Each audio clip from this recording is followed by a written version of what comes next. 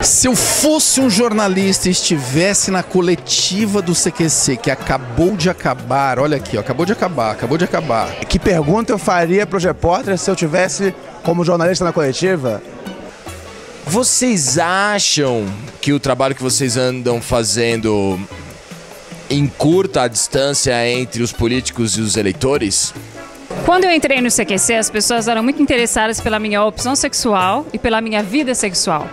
Ninguém perguntou absolutamente nada disso para Daniele. Quais são os limites do humor?